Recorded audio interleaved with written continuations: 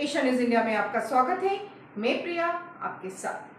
कांग्रेस के राज्यसभा सांसद और पूर्व केंद्रीय वित्त मंत्री पी चिदम्बरम ने कहा 2024 लोकसभा चुनाव की हवा का रुख भाजपा की तरफ़ है। वह कभी भी चुनाव को हल्के में नहीं लेती। भाजपा चुनाव ऐसे लड़ती है जैसे कि वह आखिरी लड़ाई हो। हालाँकि हवाएँ दिशा बदल सकती है, लेकिन विपक्षी दलों को भाजपा की काबिलियत का एहसास होना चाहिए। चिदम्बरम ने पीटीआई को दिए इंटरव्यू में कहा छत्तीसगढ़, राजस्थान और मध्य प्रदेश विधानसभा चुनाव में जीत से भाजपा को हिम्मत मिली है। छत्तीसगढ़ और राजस्थान में कांग्रेस की हार की उम्मीद नहीं थी। नतीजे चिंताजनक है। मुझे विश्वास है कि पार्टी नेतृत्व तो कमजोरियों को दूर करेगा। लोकसभा चुनाव के लिए गठबंधन की तैयारियों पर चिदम्बरम ने कहा कि इंडिया गठबंधन के नेताओं को ऐसे उम्मीदवारों की पहचान करनी होगी जो कम से कम 400 से 425 सीटों पर भाजपा का मुकाबला कर सके।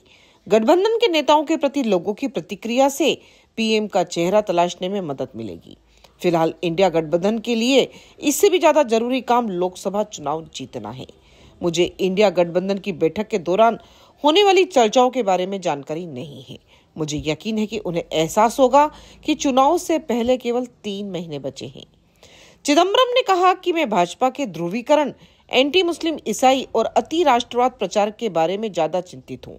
कांग्रेस को इसका तोड़ ढूंढना होगा। भाजपा एक ताकतवर पार्टी है।